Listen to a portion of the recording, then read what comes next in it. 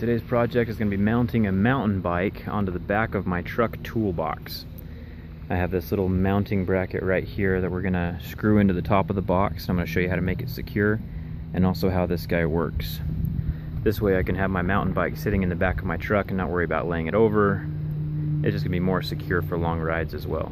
So what you're going to need for this project is the mount itself. I got this guy off of Amazon. I'm going to go ahead and link that down in the video description. It's right below this video. So if you want to buy one of these, go ahead and check that link first.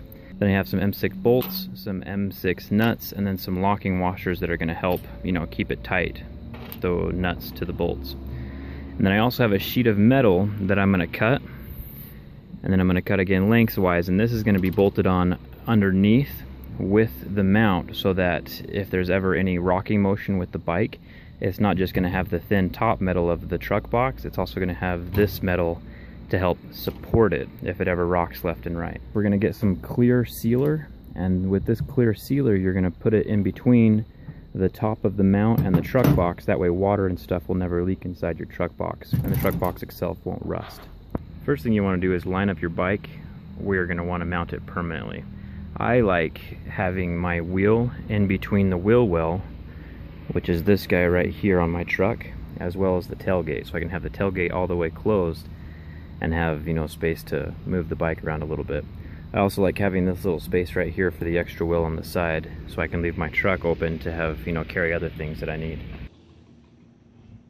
So that is the tentative place where I'm going to mount my bike. I don't have anything bolted in yet.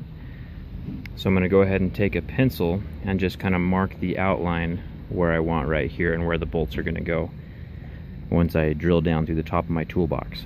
I also chose farther up on the lid of the truck box because when the lid is going to be open, there's still going to be room between the mount and the window. If I was to do it farther down, I wouldn't be able to open my truck box and have it not touch the window at the same time.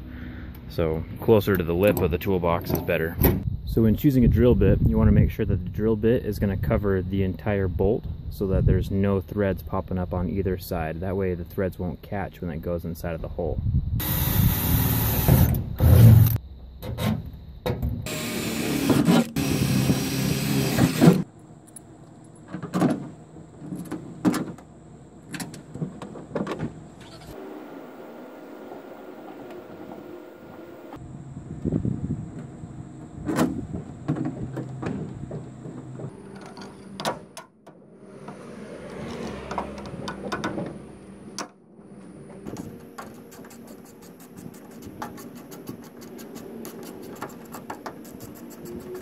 And that is it.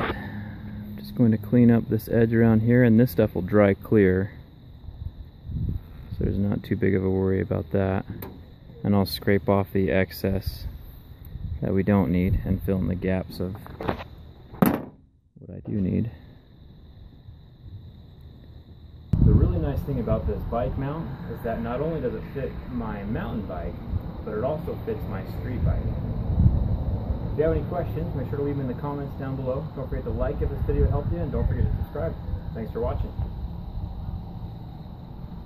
To deter thieves a little bit, you can probably stick a cable through here and then up and around through the main part of your frame and that would keep people from stealing your bike a little bit but at the same time you know they could still unbolt this bottom part and walk away with your bike so this isn't like a long-term you know storage solution but it is really nice to be able to transport your bike